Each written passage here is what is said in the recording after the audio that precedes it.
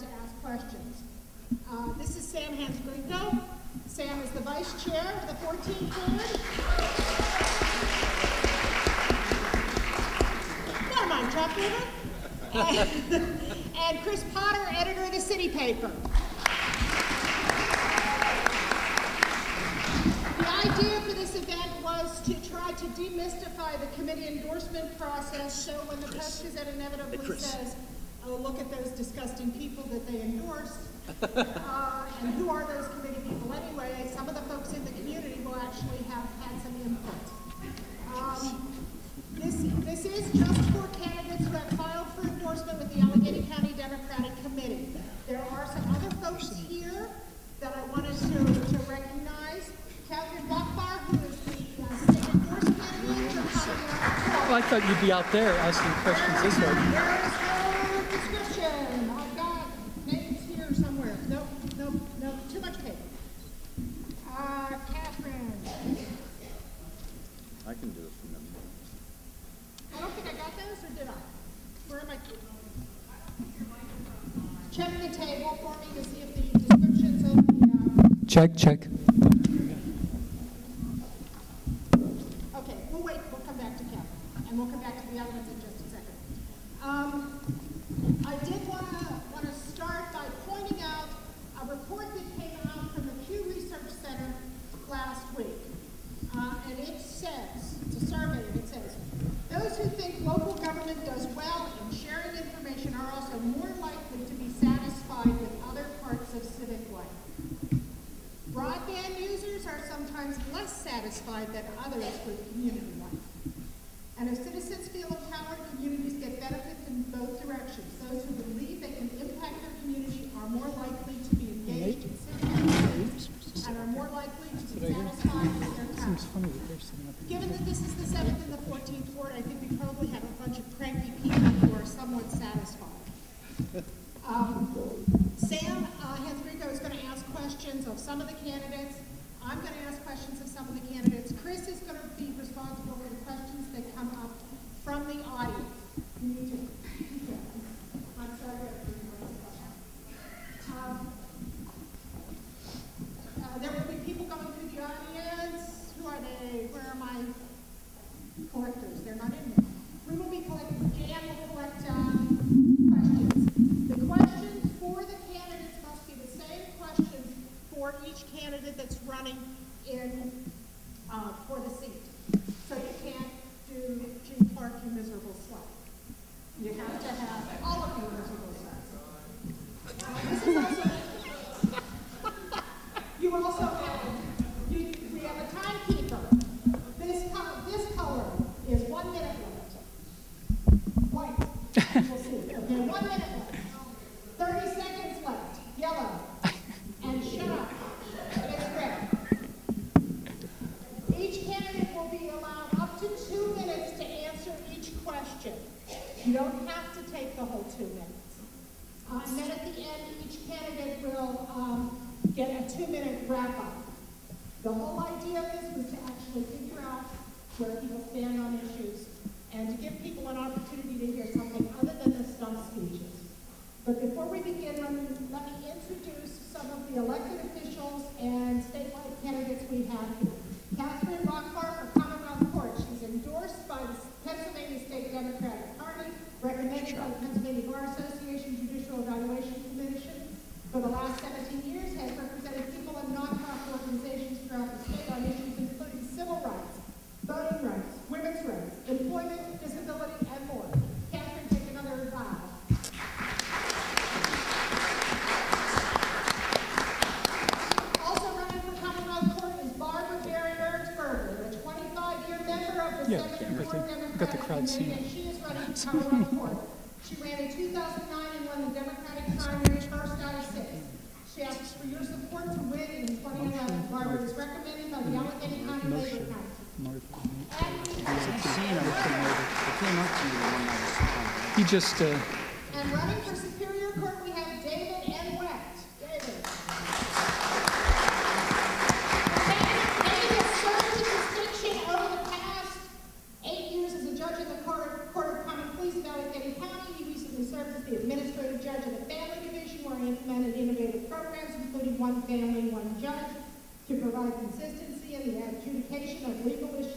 addressed by that division. As a family court judge, the candidate had experience in both domestic relations and juvenile justice functions. I'm gonna work Uh, a to little bit three longer. compound sentences prefer here, the longer David, one. so that's it. Thank you very much. In I don't want to addition, overtax you. we have Dan, State Representative Dan Frankel is here. Uh, Dan is a progressive leader in the legislature out of Squirrel Hill. Uh, we have State Senator Jay Costa, who is helping get funds. I particularly want to thank Jay because he's helping to fund the events tonight. Uh, we have Bill Isler, who is the school board member for, for this district. And we have Ed Beatty, the chair of the city democratic committee. Ed? There he is. And I'm sure we'll have more people as we come on. So, we are at just a few minutes after six ten. I'm gonna turn the mic over to Sam. Thank you. Thank you, everybody. Thank you for coming. Again, my name is Sam Hens Greco. I'm the vice chair of the 14th Ward Democratic Committee. Um, If at any time you're having difficulty hearing me ask questions, please raise your hand.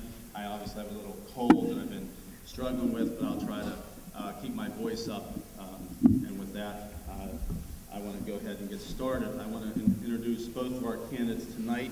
On my far right, it's Corey O'Connor. Corey was born and raised in Pittsburgh.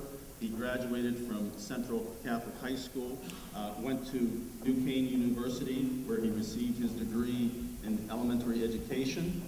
For the past four years, Corey has been Community Development Representative for Congressman Mike Doyle, with areas of responsibility in the city of Pittsburgh, its suburban municipalities, and among the 530,000 people of the 14th Congressional District. Uh, Corey is the varsity golf coach at Central High, Central Catholic High School, where he has developed a perennial WPIAL playoff team and several Division I collegiate golfers uh, over the past six years. Uh, he has also coached uh, Little League Baseball for the community's kids uh, since he was 16 years old. He is an active board member of First Tee of Pittsburgh, uh, Clean Pittsburgh Commission, and Addison Behavioral Health. Uh, last year, he chaired both the Arthritis Foundation's Jingle Bell Run and Walk for Arthritis and the Shepherd Wellness Awards dinner.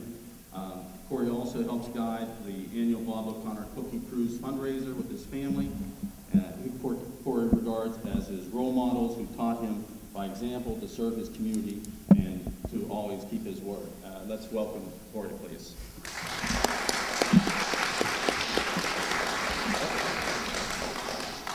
Uh, Our second uh, candidate is Chris Zurawsky. Chris is a three-term member of the Allegheny County Democratic Committee and past president of the 14th Ward Independent Democratic Club. He has been a reporter at the Pittsburgh Courier, McKeesport Daily News, Philadelphia Inquirer, and the Pittsburgh Trib. Uh, he has taught journalism at Pitt and Point Park and holds a master's degree in public policy and journalism. As Director of Communication and Public Affairs for the Association of American Cancer Institutes, Chris will be making his third trip to Capitol Hill in May to talk to lawmakers about the need for federal funding for cancer research performed at places like Hillman Cancer Center. Chris grew up in Brentwood, lives in Squirrel Hill with his wife and fellow committee member uh, Sarah Flanders, uh, Squirrel Hill native, and their sons Nicholas, uh, Catholic Central sophomore, and Peter, a Falk School student. Uh, let's welcome Chris, please.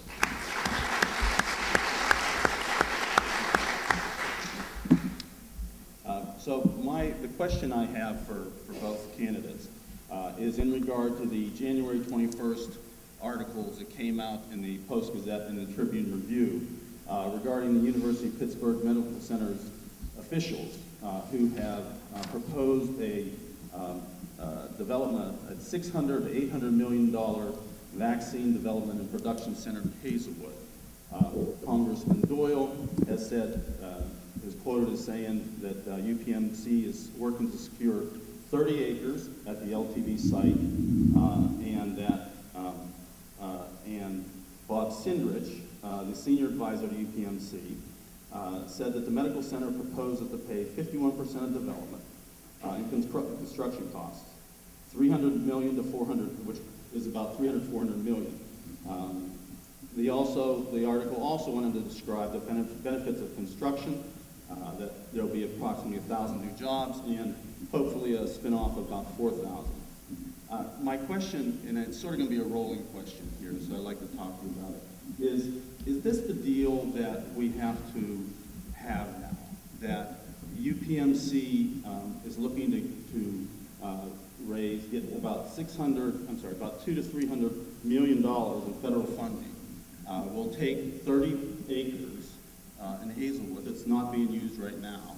Uh, We get jobs, but UPMC will, those, that property will be taken off of our tax rolls again. Uh, Is that a good enough, is that a good trade? Is that where city council, uh, is that where our city is now? And is that the type of deals that we're going to have to be developing? I? I was going to say that sounds like a softball for you, but uh, actually maybe not now. Um, Well, I don't mean to be soft. You- okay, uh, But Corey, why don't you? Okay, I'll go first. I mean, about that project, I was with Congressman Doyle and a number of elected officials in this room when we discussed that project. It's a $600 million project that's going to bring 1,000 jobs to our region. Yes, UPMC's with, with that project, and they're actually facilitating the project, but it's a Department of Defense research plant. And that's a national organization that's coming here to secure a location in Hazelwood. And I think if we let that land sit there. The LTV site has been vacant for more than 15 years. If we let that sit there longer and longer and longer, nothing's ever going to happen to it. And it's not just the jobs that are going to be created there. It's going to be the access to the facility so that it's going to open up the waterways so that we can do development around the site. It's not going to be a plant where there's going to be smokestacks and you can't get in. Yeah, it's going to be a secure location, but how they develop these locations now, you could put it right in the middle of a neighborhood and nobody will know the difference. So, I mean, it's not just going to create the jobs, it's going to get people living there and working there, and that's something we need to do. And as a councilman, you need to be that leader to bring those people together to create the jobs. And, Okay, but- and it, answer the question, please? But, I'll, thank you, Gene. Um, so, so, but I, but address the, the point is, I mean, it, it, I, it, I'm not against the project. I agree Yeah. with all those things. They all Right. sound great. But are we at the point where UPMC gets to dictate that they don't have to pay taxes on this land? We're gonna take thirty acres away. Well, if it's, if it's the UPMC we're talking about, it, it's, actually a Department of Defense project. So, so it's a little different. It's not UPMC like they were in different areas. And if we want to talk about UPMC, I always thought they were, that they should even, at least pay its payroll tax. That's a half a percentage, and that would raise the city $22 million. So I mean, if we want to talk about issues like that, that's fine. But you also have to move into Harrisburg to get them to pass certain laws. Because you can't just have a nonprofit law in the city and nowhere else in the state. So, just, in, just so to be clear with everything, in the article, it's a little vague as far as who, they talk about UPMC securing the property. So it doesn't, I mean, it wasn't clear Yeah. whether they were gonna be owning it. Okay. The, the point is, Chris, go ahead. yeah, I, uh, uh, quite fortunately, I had a good talk at McGough's fundraiser a couple Saturdays ago, excuse me, with the, with the guy who's working on a report all about the entire site along, along the river, all, all across Hazelwood. Um, a couple of things he told me is that, first of all, UPMC is actually uh, making some noises about letting it be a taxed property. Now, how, how it's going to be taxed or how that's going to be arranged isn't clear. What I found kind of distressing about it, though, is that part of the package, uh, from my understanding, part of the package to encourage the federal government to give the money uh, will include a, some sort of TIF financing from the city.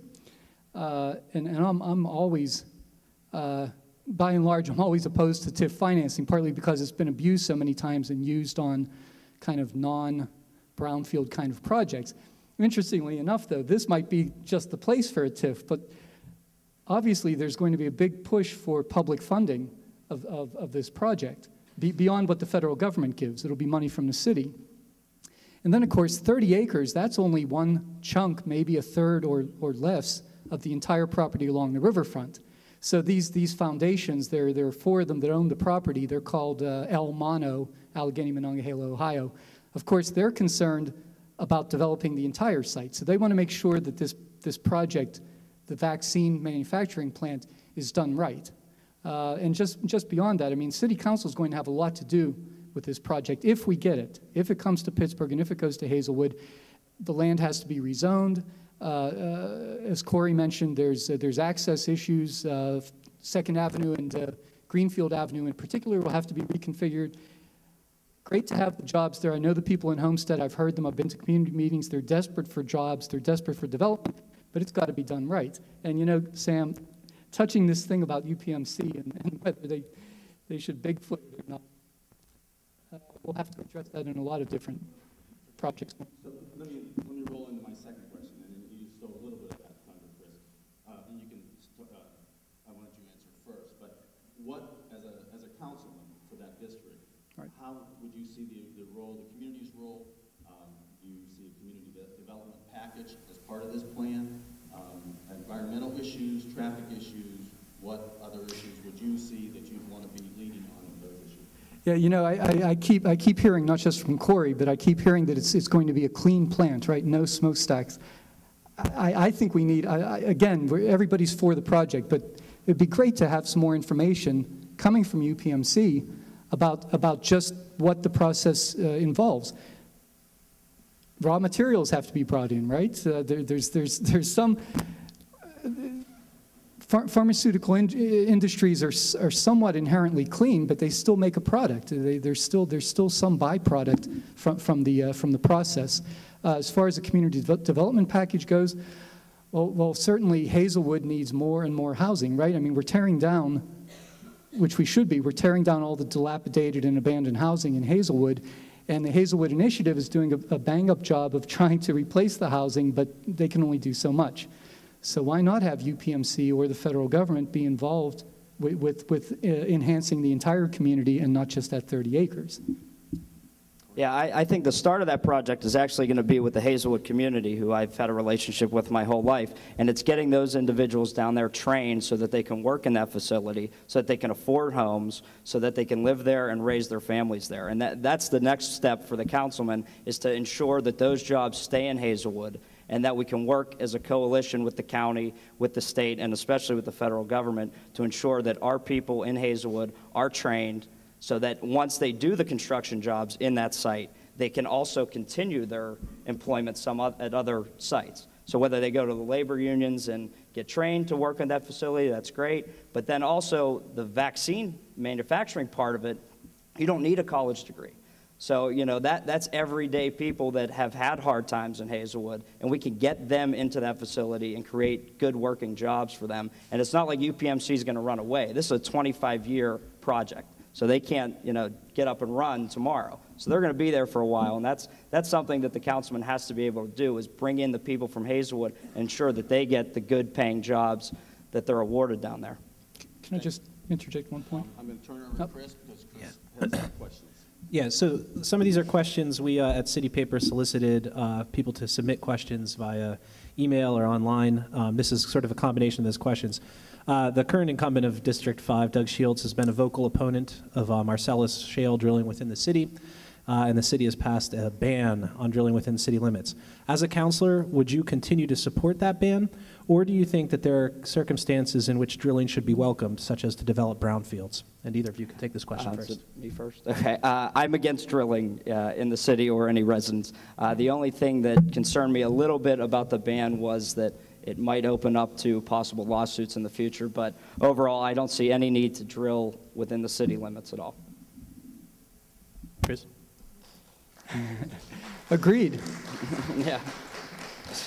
If I, if I can just, so I get a little time, expand it. Um, a, uh, a couple weeks ago, I heard some old Bob Hope jokes, and, and one of them was uh, Pittsburgh's the only city where you can wake up and hear the birds coughing, and uh, I, I- you know it's a great joke, but I really fear having us go back to having that kind of reputation, right? And uh, I really appreciate your letter this weekend, Rich Fitzgerald. Um, I, I got it. I imagine the, uh, all the 14th Ward Committee got it. Uh, uh, you know, expressing Rich's uh, opinion about uh, strong regulation being needed and concern for the environment, and, and I'm glad to hear that. But one thing that doesn't sort of placate me, for want of a better word, is this idea that, you know, we won't be seeing drilling in the city for at least 12 years. 12 years comes like that. I, I, I don't want drilling at all, ever, in the city. Let's just draw the line there, right? And you know, I, it'll be too easy for a comedian to get up and say, um, you know, something like Pittsburgh has great health care. It's the only city where you can get an x ray and take a shower at the same time. So I don't, I don't want to go that far. so I'm sorry, I had to use that, but thank you. And uh, Great. so I'm glad we're on the same page. I'm, I'm glad to hear that from my opponent. Yeah, no, let's, I'd, I'd like to go to another question. Yeah. As a counselor, uh, this is a question from some uh, biking advocates in the city. As a counselor, what would you do to make Pittsburgh more friendly to bicyclists and pedestrians? Yeah. Uh, you know, uh, actually, I'm glad to say that uh, although I did not get the job, I was one of seven people that was interviewed for the bike and pedestrian coordinator job. So I just, just in that respect, I have a, I have a big commitment to biking. I bike to work every day. I, I wrote a little op-ed a couple years ago in the Post Gazette where I said that one of my goals in life when I'm 50 is to do the trip to, to Washington with my family. So I really love biking. What would I do? Well, certainly I hope to continue, I, I hope to support the continuation of that position of bike and pedestrian coordinator for the city. I mean, I know it's, uh, it, was, it was based on a two-year, I believe, grant from the foundation, so I hope we can continue that. Uh, man, I just want to see more and more bike trails. I'm not a type A biker, but, but I, I use it for recreation and commuting, and the, the more we can bike, the better off the city's going to be. And you know, there was just a survey out 20% of Pittsburgh, not 11% of Pittsburghers, I believe it is, use public transportation, and 9% of others get to work other ways, walking, biking, et cetera. It's not an insignificant portion of the commuting population, and it's getting bigger. Mr. O'Connor. Okay, uh, I would also support as, as best we can the bike lanes. In fact, uh, there's actually going to be a new bike lane development uh, on Greenfield Bridge going across the bridge. They're taking out a sidewalk so that it can open up to a bike lane. So, I mean, any support we can give to them. And working with the congressman, we actually worked on one of the bike lanes that was having trouble with a zoning problem with CSX Railroad and we were able to work with the railroad to ensure that we can expand the bike lane in Sandcastle, right down there in Homestead. They needed 10 feet of railroad space, and we worked with them to ensure that they could have that space available to them. Okay, Thank you very much. Would you like to have a quick wrap-up? Quick wrap up. Mayor, you want to flip Yeah. a coin? No, I, I, I just want to thank the three of you for uh, hosting this and, and for giving me the questions in advance. And uh, I respectfully ask the uh, committee's endorsement tomorrow, definitely, and, and everybody's votes on May 17th. I would love to represent the 5th District on council, and I thi- think I'm a really appropriate, prepared candidate for that. Thank you. You got questions in advance. My, my email was up and running all day, guys, you know? um, no, I was just. No, I, I know, I know, don't worry. Uh, no, I again just want to thank everybody for coming out here and to let you know that, you know, if I'm elected, I will be a hardworking city councilman. You know, I hit the streets hard, don't like to sit behind a desk. I'm out there. I, I, like to hit the streets, talk to the people. I have a good working relationship with most of my neighbors in the area that I've lived in my whole life, and I have the ability to bring people together. So I ask for your support on May 17th. Thank you.